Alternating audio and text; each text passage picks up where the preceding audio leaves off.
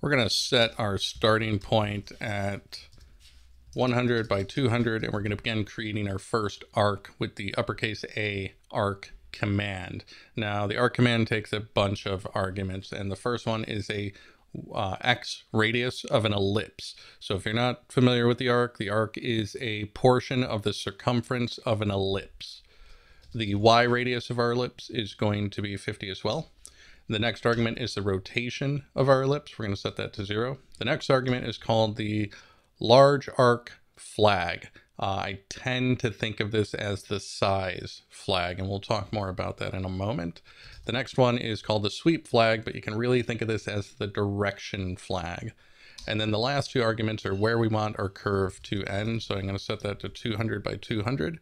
And we can see here's our curve at 100 by 200, ending at 200 by 200. So what I'm going to do to kind of illustrate what's going on here is I'm going to create uh, all the possible paths we could make with this uh, configuration by simply changing these two flags. So this one's 0, 0, this one will be 0, 1, this will be 1, 0, and this will be 1 and 1. Save that, and now we can see we've got kind of the other half of our ellipse. Now our ellipse is set to uh, basically be a circle because or to be a circle because we have an equal uh, x and y radius. So let's go ahead and take a look at the uh, sweep flag. And again, you can think of that as the direction flag. right now it's set to zero. Uh, a lot of people say that means it's traveling uh, counterclockwise. To some degree, you could just think of this as the up or down uh, uh, method. So right now we're at zero and we are traveling on the down side, the bottom side of uh, the two potential arcs we could create right now. I'm going to set that to one, and now we're going to travel on the top side. That's really all there is to it. Again, you will hear clockwise versus counterclockwise, positive uh, angles versus negative angles. 99% of the time, it's the top or the bottom. So if we go up here and we change our radius, let's change the Y radius, we'll say 85. We can see, whoop, I didn't change it on this guy. So we can see that we're still traveling along the top. And if we switch this to zero, we're now we're traveling along the bottom. Now what I'm going to do is change this rotation and we're going to see something kind of interesting happen. I'm going to set this, we'll say we're going to rotate it by 25 degrees. Let me just clean up this code a bit. And now if we take a look at our arc, we can see we're still traveling along the bottom side of this larger ellipse. But now we have four paths we could travel along. We could travel along this guy, this guy, the one we're traveling along now, and this one here. And so what happened is when we rotated the ellipse, um, proportions of the ellipse kind of got out of our control, and the ellipse that we're defining is now wider on its x diameter than our two points. So what happened is uh, the ellipse here got moved up uh, so that our points could draw a portion of its circumference while maintaining their distance from the starting point to the end point.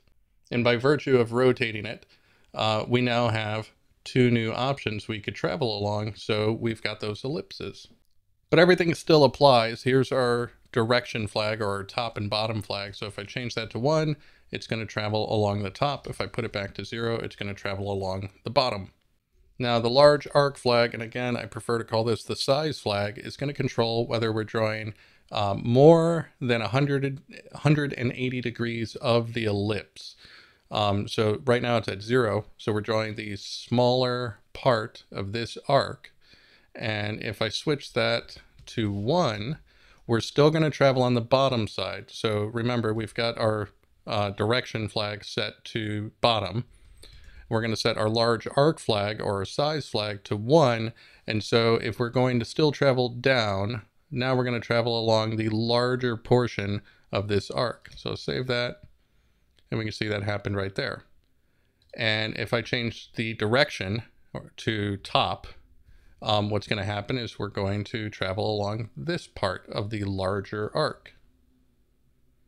And again, if I put these back, there's zero, zero. Uh, here's uh, uh, the smaller arc, the size set to small and the direction set to up. If I change the size to large, there we go. So I'm going to copy this guy really quick and just point out that there is a relative version of the arc command, a lowercase a. Uh, and the only thing that we need to change here is where our ending positions are going to be uh, relative to our starting positions. So this was 100 by 100. This is 200 by 200. So to get to 200 from 100, we're going to add 100. And to get to 200 from 200, we're going to add 0. Uh, so now this arc is right on top of our other arc. Uh, but if I want to move it around, I can move it and the arc remains intact. Move that a little further maybe. Um, however, if I try to move this guy around, things are going to kind of start to get weird.